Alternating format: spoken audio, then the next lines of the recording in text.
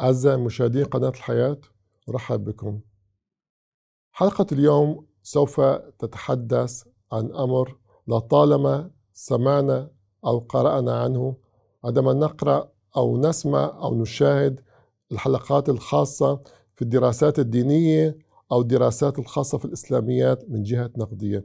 ما يسمى الأدب الحبري أو الأدب الحاخامي ما هو الأدب الحبري أو الخاخامي؟ الأدب الحبري يشير يقصد به النصوص التي تم تحريرها وكتابتها ونقل ونقلها على يد الأحبار. في فترة تاريخية تبدأ من عصر الهيكل الثاني أي حوالي سبعين ميلادية إلى عصر الفتوحات الإسلامية في القرن السابع. إذا عندما نتحدث عن الأدب الحبري فنحن نتحدث عن أدب استمر ما يقارب 400 500 سنة من ما قبل الهيكل من فترة هيكل الثاني إلى عصر الفتوحات الإسلامية. هذا هو الإطار العام. كيف لما نقول نحن إذا نحن لدينا ما يقارب 500 أو 600 سنة نقول إن هي شكلت الأدب الحبري؟ كيف تكون الأدب الحبري أو ما هي الحقول المعرفية في الأدب الحبري؟ مراحل تطور الأدب الحبري. ما هي المراحل تطور الأدب الحبري؟ لقد تعاقب أجيال الأحبار على العمل على النصوص الحبرية ولكل جيل من الأحبار إنتاج أدبي ديني خاص به وتسمية خاصة به وتنقسم الحبرية اليهودية إلى عدة أطوار. ولهذا يمكن تقسيم الأدب الحبري تاريخيا إلى عصرين أو إلى أدبين. الأدب التنائي الأدب الأول في الأدب الحبري يسمى الأدب التنائي ثم المرحلة الثانية منه يسمى الأدب الأموري. التنائي نسبة إلى التنائيم هم الأحبار الذين وجدوا بعد دمار الهيكل سنة 70 ميلادية حتى ما يقارب سنة 200 ميلادية الأدب تنائي أو تنائين من الآرامية تنا وتعني معلم. من علم يعلم وتعني حرفيا يعيد. عندما نقول أدب تنائي ماذا يعني الأدب تنائي؟ يعني الأدب تنائي يحتوي على نصوص المشنة يحتوي على نصوص التوسفتا ويحتوي على نصوص المدراش. ومن أبرز علماء هذه الفترة الحبر عكيفة بن يوسف من علماء التنائين والحبر مائير والحبر الشهير جدا يهوذا الناسي والذي له الفضل في تنقيح التقاليد الشفوية المعروفة بالمشنى في التقاليد اليهودية ثمة اعتقاد بأن الذي بدأ بعملية تدوين المشنى هو الحبر يهوذا الناسي.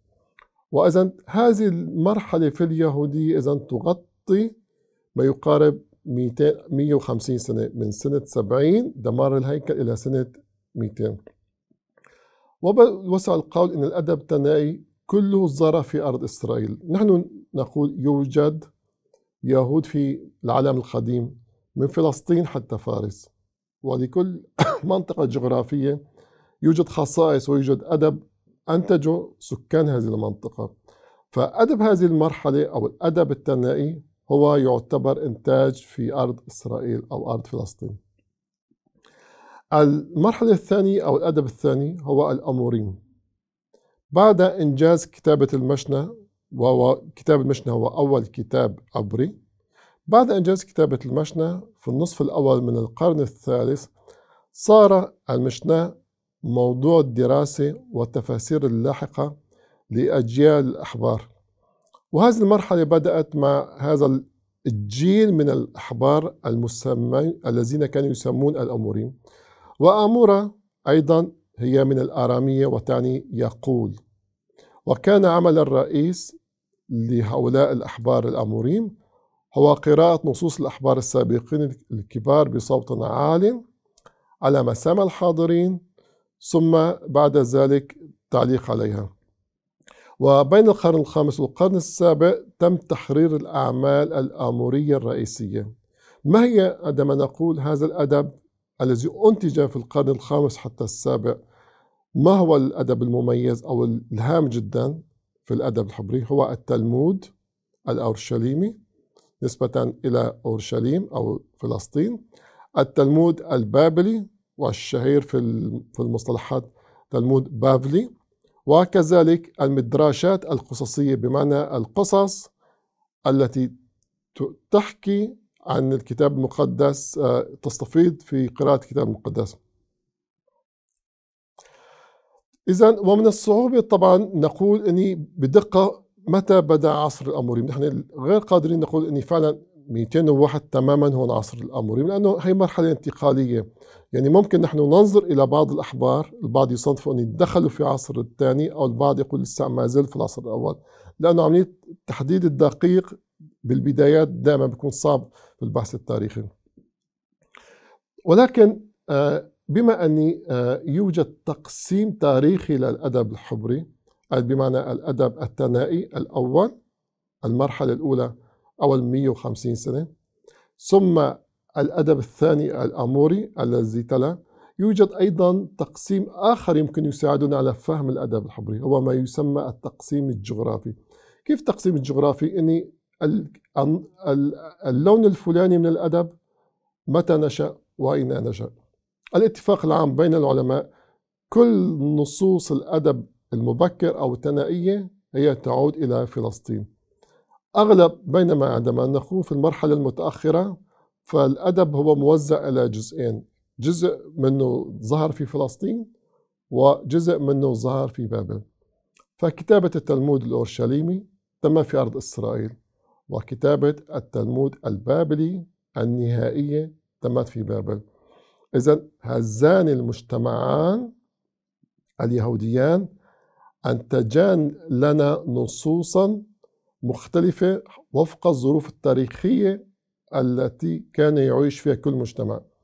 ففي الغرب في أرض إسرائيل كان اليهود يعيشون تحت ظل الإمبراطورية الرومانية التي كانت فيها المسيحية الديانة الرسمية.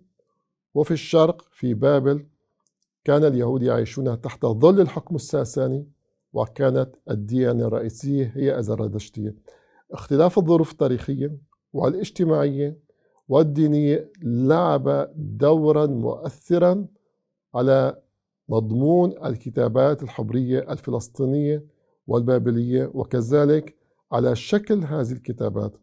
فمثلا في الأعمال اللي موجودة آه، قديما في الفترة المبكرة نجد أن مكتوبة بعبرية تسمى عبرية المشنى مع مفردات آرامية وكذلك مفردات يونانية.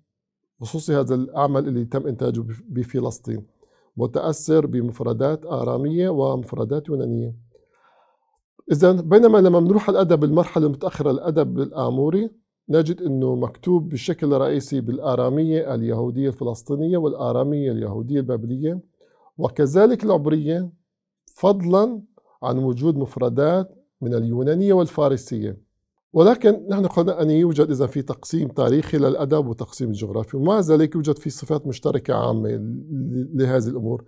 أولا بالعادة عندما نقرأ النصوص غالبا لا يذكر اسم الشخص صاحب النص. أحيانا يتم نسبته إلى حكماء أو, أو شخصيات ولكن ليس بالضرورة هي أسماء تاريخية حقيقية. كمان يمكن أن يجد الشخص أحيانا مناقشة آه، تاريخية بمعنى نقاش بموضوع ما معين رأي الحكيم الأول القرن الأول ويتابع رأي الحكيم في القرن الثاني ويتابع رأي الحكيم في القرن الثالث. إذا ممكن يجد شخص مناقشة تشريعية قائمة على أساس التسلسل التاريخي للنقاشات. الأدب الحبري بشكل عام هو يتميز باقتضاب شديد خصوصي في الفترة المبكرة بينما الفترة المتأخرة فيه تفصيل أكثر واهتمامات أكثر.